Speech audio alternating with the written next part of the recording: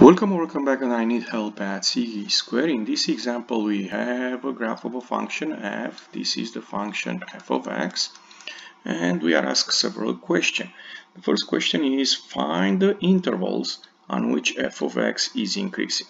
First of all let's let's let's discuss about what we see in this picture. We see a function that comes from the left side from here and goes here on the right side. However, since I'm not so sure what's happened on the left side and on the right side, it looks like it goes up on the right side and goes up on the left side.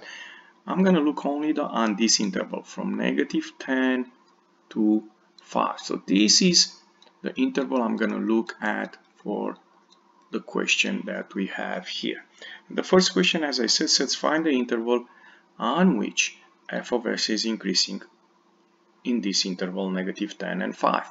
A function is increasing when it goes up from left to right, something like this.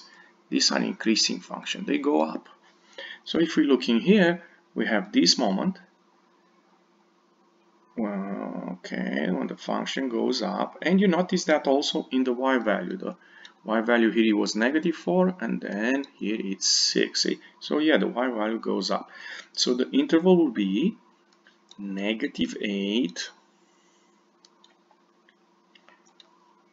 negative 8 right from here to negative 2 this is the interval where the function is increasing. But if you keep looking you notice we have one more interval which is right here which the function is increasing from 0 to 10 we can see that those two values and that happens between 0 and 2 so the intervals on which f of x is increasing are these two intervals. You may need also to use this sign, which means union. On both interval this function is increasing. Part B, the same story, the only difference, we are asked when the function is decreasing. A function is decreasing when it goes down, when it go, goes down from left to right. So, uh, one time we can see that here, from this point to this point, right? Again, the interval we're looking at is negative 10, 5.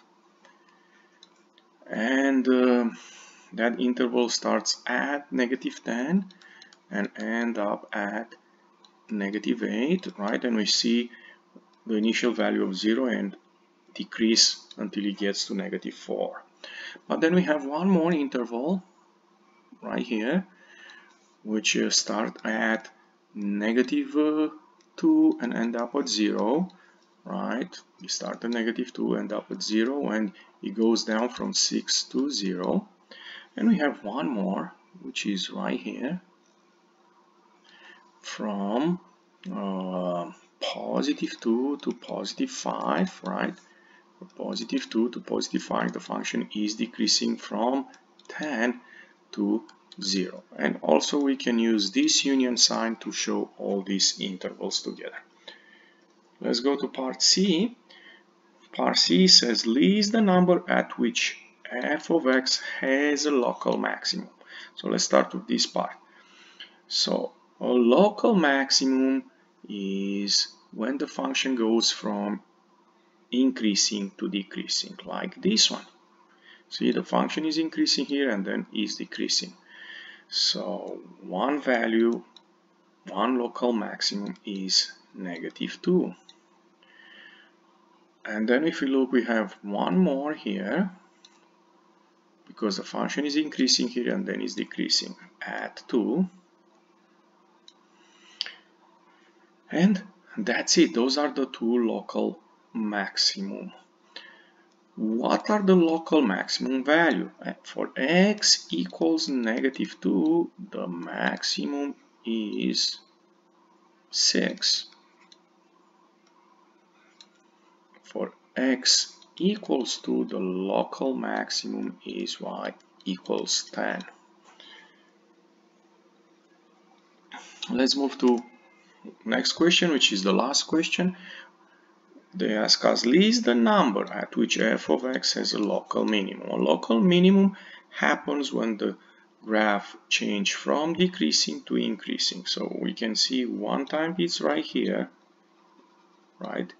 Decreasing, increasing. So at x equals negative 8 and one time it's here, again decreasing, increasing, 0 and also we can see it here at 5 and the local minimum r for x equals negative 8 we have y equals negative 4 the minimum for x equals 0 the minimum is y equals 0 and for x equals 5 we have the same minimum of 0 and that's it if you enjoyed this video clip, don't forget to click the like button and come back on C Square for more help. Thank you.